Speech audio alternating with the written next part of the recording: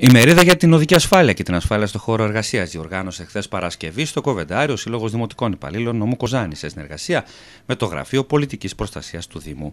Ομιλητές της ενδιαφέρουσας αυτής εκδήλωσης ήταν εκπρόσωποι της πυροσβεστικής, της αστυνομίας και φυσικά της τροχέας Κοζάνης.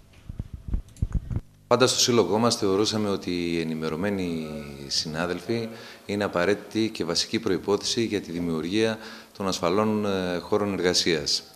Για το σκοπό και το λόγο αυτό αναλαμβάνουμε δράσεις και πρωτοβουλίες σε συνεργασία με άλλους, ε, με άλλους φορείς, ώστε να δημιουργήσουμε μια δια, ένα διαχρονικό κλίμα προς την ενημέρωση των, ε, των συναδέλφων και ως συνδικαλιστικός φορέας να το περάσουμε και σε άλλους δήμους. Ε, θα ήθελα να ευχαριστήσω την ελληνική αστυνομία, ε, την πυροσβεστική, που στο κάλεσμά μας ανταποκριθήκαν, ε, ανταποκριθήκαν άμυσα.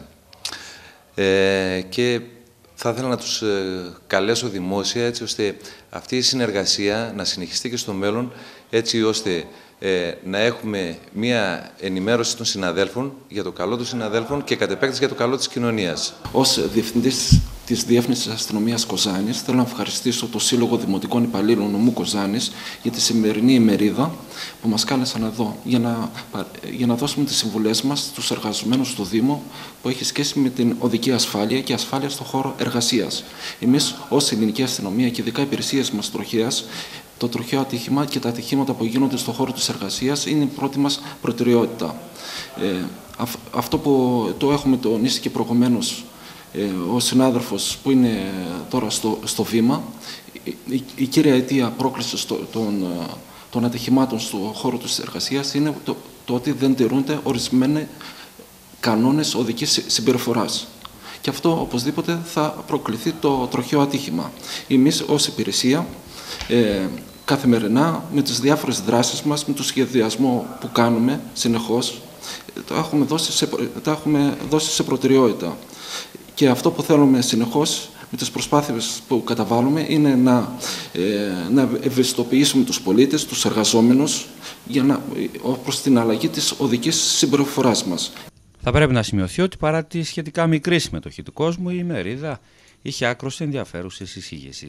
Εγώ από την πλευρά μου θέλω να σας πω δύο πράγματα γρήγορα, για να μην τρώω τον χρόνο.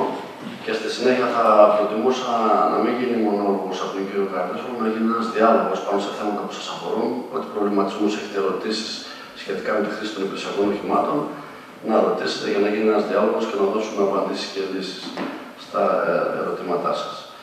Ε, τι είναι το τροχαίο ατύχημα; Το τροχαίο ατύχημα είναι ένα πρόβλημα που ταλανίζει εδώ και πολλά χρόνια την ελληνική κοινωνία και όπως όλη την ελληνική κοινωνία και την περιοχή μας. Εμείς ως τροχιά τι κάνουμε; Εντοπίζουμε ένα πρόβλημα, το αναλύουμε, βρίσκουμε τα αίτια του και προσπαθούμε να δώσουμε λύσεις στα πλαίσια πάντα της πρόληψης. Από την εμπειρία των 10 και ετών που έχω στη τροχιά, θα σας πω ότι το αίτιο, το μοναδικό για την πρόκληση των τροχαίων ατυχημάτων, κατά την άποψή μου, είναι ο, παρά, ο παράγων άνθρωπος. Ένα νευραλγικό κομμάτι του Δήμου Κοζάνης, το οποίο ε, χρειάζεται διπλή προσοχή από τη... Χρειάζεστε μάλλον διπλή προσοχή από ό,τι οι υπόλοιποι εργαζόμενοι, γιατί έχει να κάνει με συνεχόμενε εικόνες μπροστά σας, οι οποίες μεταβάλλονται καθημερινά. Ε, θα ήθελα και εγώ, όπως είπε ο κύριος ε, Διόκαρης, να κάνουμε μια κουβέντα και με ερωτήματα στον κύριο Καραδίσογλου, ε, τα οποία θα μας βοηθήσουν να λύσουμε και τις όποιες απορίε έγινε.